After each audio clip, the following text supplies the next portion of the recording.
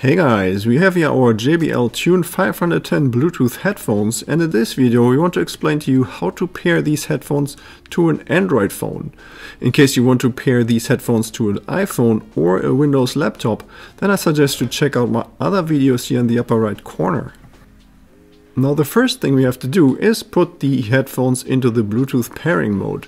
As long as your headphones are still brand new, all you have to do is press the power button for about 2 seconds and that will automatically bring them into the Bluetooth pairing mode.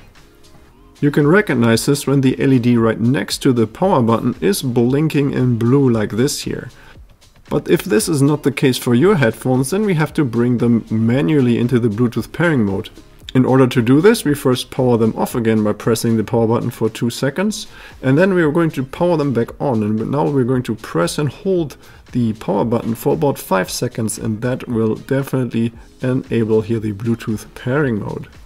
And this is all we have to do with the headphones, and we can place them to the side for now. And when we switch now to our Android phone, we want to enter the settings menu. Here we have to just swipe down on the screen and we find here the little cogwheel icon, which brings us right into the settings menu. Here we press on connections and then at the very top we find Bluetooth.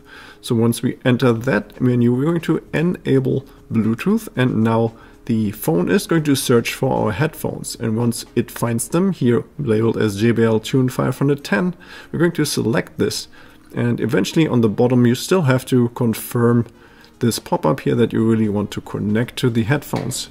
And now we're going to see here the abilities of the headphones. You can see we can use them for phone calls, we can just listen to audio, and we can also see the battery percentage that is left on the headphones. So in this case there's 80% battery remaining.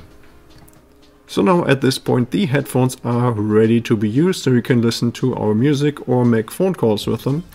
And once we are done using them then we're just going to turn them off by pressing the power button here for 2 seconds. Now in case you're wondering if you have to do this process every time you want to use these headphones then the answer to that question is no. So next time you're just going to turn on the headphones again by pressing the power button and they're going to immediately connect back to your phone and they're instantly ready to be used. Okay, so I hope you found this information helpful and if you have any more questions or comments then please leave a message below.